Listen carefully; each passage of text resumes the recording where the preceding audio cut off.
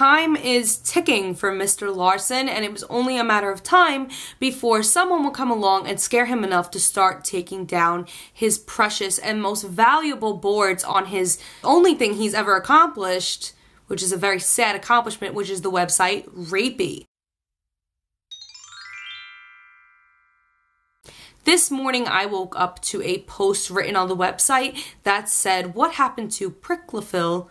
Priklopil, Priklopil, I don't know how to say it, but just so you do know a little background story, it's referencing a man who kidnapped a young girl named Natasha and kept her in the basement of his home for 10 years. So yeah, with that being said, I bet you could guess what was on that board. It was a whole lot of child pornography. And someone asked what happened to this board. Mr. Larson responded, This happened. On Friday, October 23rd, 2020, the Child Protective Research Center started an investigation about rapey.su. And it includes the web address, the domain, the email, the IP, and child porn found yes. Reason for investigation. Through organization Free a Girl, CPRC got an email on Thursday, October 22nd, 2020, about the website RapeySU. The original email stated the website RapeySU contains a lot of child porn. In the following hours, the website RapeySU set the public photos and videos to private. CPRC created an account at the website to check if there's child porn on this website. Our findings from the last 24 hours are found in these documents. Our photos of little boys that I'm not going to include because it's just very disturbing and triggering, and I would just like to keep that out. Um, but I promise you, it was disturbing enough for this investigation to be started, as there are many disturbing things on that website, and there always has been child pornography. It's just been very hard to prove, very hard to find, as a lot of it was hidden to the public, and you had to have a membership. I myself have never made a membership. I've never gone looking for a CP. I knew it was there. I knew about this board, but it's very good that someone is actually doing something about it and an entire organization and foundation is now involved and they are actually based in Netherlands. So you might be thinking, well, it's not the US, well, it's not the FBI. Obviously, the FBI can do the very most because they can go in and arrest him. But the reason that they're not is because it's so hard to trace because of the fact that his servers are not in the United States and for some odd reason they won't they don't deem this important enough to trace it all the way back and forth and back and forth just for Nathan Larson.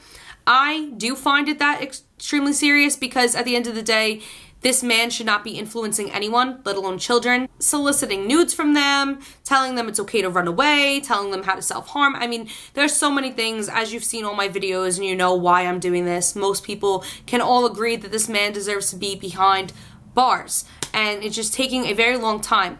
But now that there is a yet another investigation going on by people who may actually have the means to do something and collect all the evidence for the FBI themselves, we're hoping that the FBI will start to move in and do something as they don't really need to even do a lot of work as people in Anonymous, the CPRC, me, so many others have done so much research. There's really not much left to do except arrest him as there is so much proof that he is the one behind all of this. And Mr. Larson knows that his time is ticking. Therefore, he is finally going in and removing things that are actually very incriminating, which is something that he doesn't normally do because, again, he's very narcissistic and he does not believe he could be caught.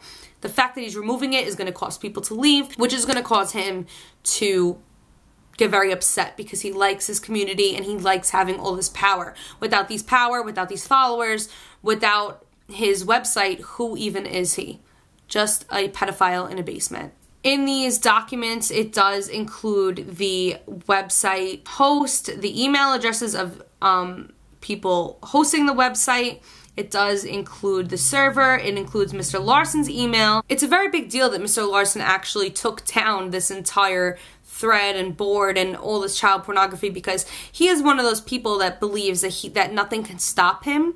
And so the fact that he's actually removing things shows that he is scared and that he is nervous because he has a lot to hide and he has a lot to be in trouble for. He's just been dancing through loopholes his entire life pretty much and everything is starting to catch up to him. His website is failing. He's having to take down things that keep people coming back because if you think about it without the child pornography, even many users have said, well, I'm not coming back because where is there anything what what what's what's the point at this point? Members are leaving, there's no more child pornography and things are starting to crumble for Mr. Larson. So much so that he actually started up another website dedicated to the glorification of self harm, where this 40 year old pedophile tells kids how they can kill themselves and how to hurt themselves. And I think, needless to say, we really need to get this man off the internet. And it seems like the ball is rolling in the right direction. Although it is an amazing thing that so many people are now getting involved and there's so much awareness around this terrible website it is extremely unsettling that the FBI has still yet to move in and do something, even if it is one man and even if it seems like such a small minuscule problem it isn't because there are so many people affected by Mr. Larson there are so many people that follow him and there's such a big community of terrible terrible people exploiting children on the internet and it is just not okay and there are so many different pedophiles that they could catch if they would just really go into this website and if they would see all of the users and all of the different pedophiles and all the people that have child pornography that actually do rape children, kidnap children. There are so many people on this website that are genuinely monsters and that could be caught and they there could be something done about it and there could be lives saved and children out of harm's way if someone would just actually move in and arrest these people and start some sort of mass arrest for the large amount of pedophiles that are so active in this community. And um, it is very scary that nothing's been done yet but i think that another investigation being done and Nathan actually being scared and removing stuff is a step in the right direction again. I actually personally reached out to the CPRC and I'm waiting to hear back from them. I want to just know a little bit more about the investigation. It's a child protective research center based in the Netherlands, but they do work internationally and it's just amazing that so many other people are now involving themselves into this case and spreading so much awareness around Mr. Larson and his disgusting, horrible websites. I'd like to thank everybody who's worked so diligently to take down this website and to make it known that Mr. Larson exists and to really spread awareness about this horrific and terrible website and community online. And I thank everybody who's still fighting so hard today for this man to be put behind bars. It does seem like his community is pretty much crumbling around him as minors are leaving, pedophiles are leaving, so many people are abandoning him, and once he's isolated and alone, it'll be very easy to catch him. I do have very good faith that this man will end up behind bars, but it is a matter of time, and it's a matter of how many people can really band together and say that this needs to stop. Our justice system is completely failing us that it's stayed up this long, but I still do believe there is hope because all together we are a army of people literally saying, please do something about Mr. Larson. And that is pretty much it for now. I'm definitely going to keep you guys updated and let you know if they respond to me. It's just amazing to see yet another organization and group of people really go after this horrific monster and it really gives me hope that something is actually going to be done about this.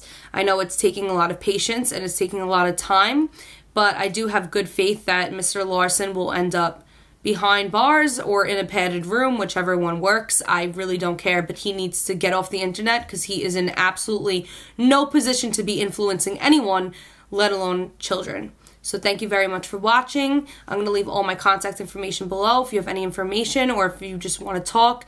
If you happen to have anything against Mr. Larson or you know anything, feel free to send me a message down below. And thank you so much for watching and supporting this entire case.